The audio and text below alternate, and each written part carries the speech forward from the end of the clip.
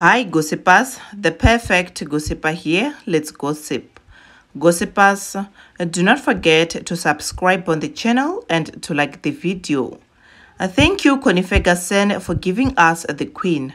I have watched every episode for the last seven years and it was truly amazing for me to keep watching. I'm really sad for the end because I really got too attached to the characters.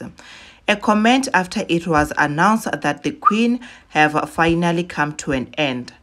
After years of entertaining us with such a great storyline, it is reported that the Queen have finally come to an end.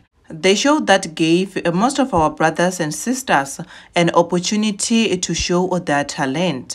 The very same show that made Jessica Nkosi to win her third acting award uh, for Outstanding Female Villain as Thando Sibiya.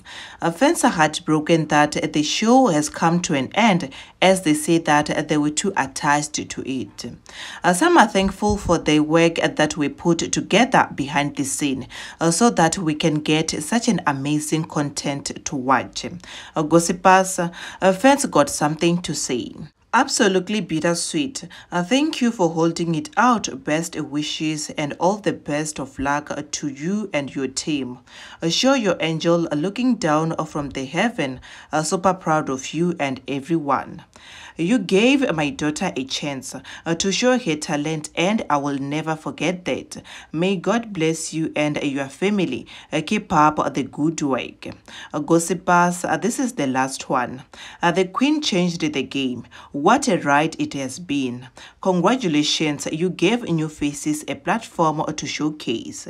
You gave black people the platform to speak and express in their own languages. Uh, such a beautiful rainbow Yes to the next one. Gossipers, what do you say about this? Do let me know down on the comment section below. Do not forget to like, do not forget to subscribe. Click on the bell for alerts on my next upload. Bye gossipers, cheers.